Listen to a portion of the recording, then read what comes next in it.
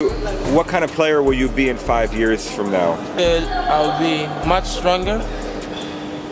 I'll be I'll be much better in everything.